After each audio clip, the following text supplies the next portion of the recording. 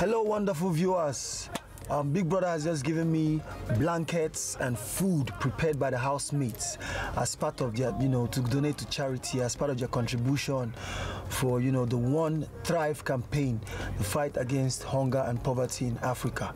So, guys, join me as we go to Banageleni Orphanage to present this wonderful stuff. Let's go.